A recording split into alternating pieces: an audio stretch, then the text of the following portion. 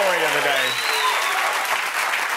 And maybe this is something you haven't been following because it's not as colorful as the usual nonsense surrounding the president. But the big story is whether and when the White House will release the so called Nunes memo. This is a memo written by Devin Nunes, who's a Republican congressman from California. He's the head of the House Intelligence Committee. This, by the way, is his high school yearbook photo. Somebody dug that up. This person is now the head of the House Intelligence Committee, which should give you an idea of how much intelligence we're dealing with. He looks like the disturbed cousin that comes to visit in a very special episode of an 80s sitcom.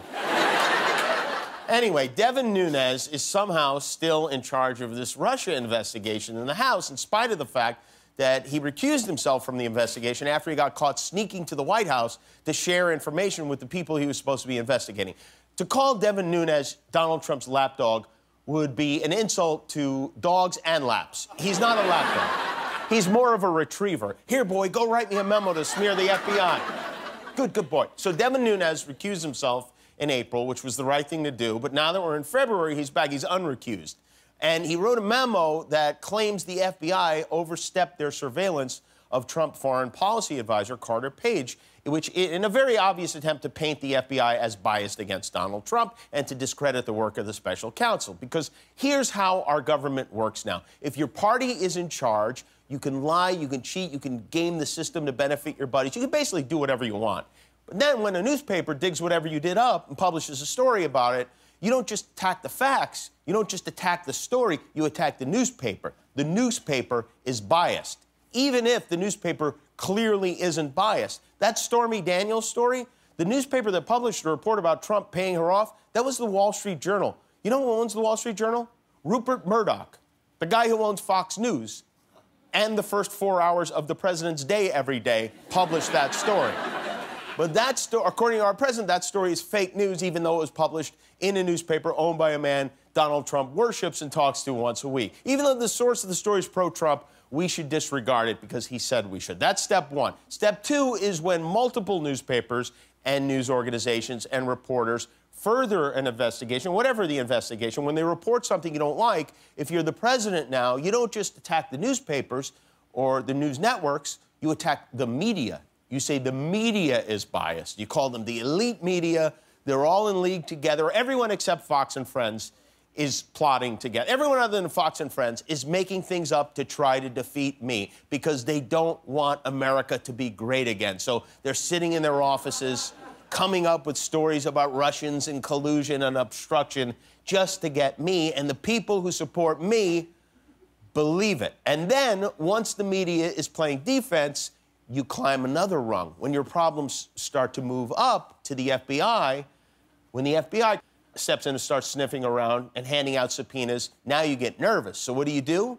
Same thing you always do. You attack, in this case, the FBI. You discredit the FBI, you discredit the special counsel, you discredit anybody who might possibly come up with information you don't like. And never mind the fact that most of the people you say are against you are lifelong Republicans, like Robert Mueller, who voluntarily enlisted in the Marines to fight in Vietnam, who served as U.S. Attorney, who served in the Department of Justice, who prosecuted John Gotti, who was named director of the FBI by President Bush. Robert Mueller is now against you. He turned somehow. Jim Comey is against you he turned. Rod Rosenstein, who you appointed, turned. They're all somehow part of this conspiracy against you, and you want them out. See, this is what happens when the only rule in your house growing up is you don't like the butler? Well, we'll fire the butler.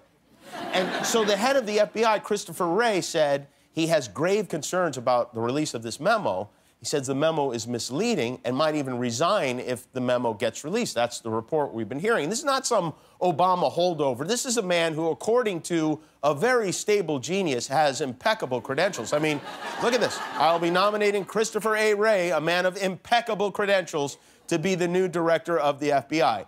And now you have a problem with him, but that doesn't matter because now that you've convinced the people who follow you that everyone you say is dishonest is dishonest. The media, the FBI, the Department of Justice, special counsel, if they eventually do start locking up members of your team and of your family, you can say, I've been telling you all along these guys are out to get me. And then you can hand out a bunch of pardons without a citizen revolt because it was a witch hunt. They made it all up to get you. This is basically the same defense OJ used, okay? And it worked.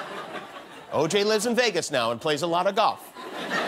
Just, I'm sure where Donald Trump wishes he was. And maybe the most outrageous part of all of it is Paul Ryan, Mitch McConnell, all these guys go right along with it. They will actually help you destroy the credibility of men they know are honest.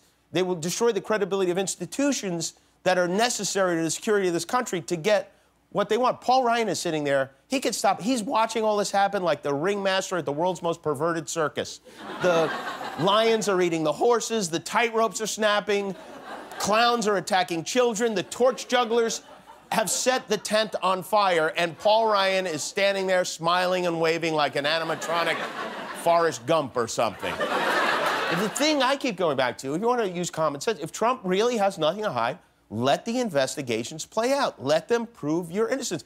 Maybe you are, maybe Donald Trump is innocent. He could be. I don't know. None of us know. We're not on the special counsel. But Donald Trump knows, so he wants to release that memo just to cover himself. And that's probably what he'll do tomorrow. And by the way, Donald, if you do release that memo, I would like to see your tax returns too. Those, I mean,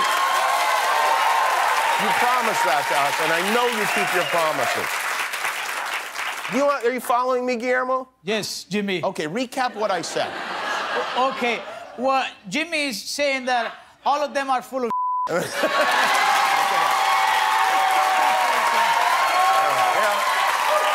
sums it up. That's the way I understand We probably could have saved a lot of time if I just turned that over to you. Yeah. Hi, I am Jimmy Kimmel. I hope you enjoyed that video. Hit subscribe, and all your dreams will come true, assuming your dreams are to watch more YouTube videos.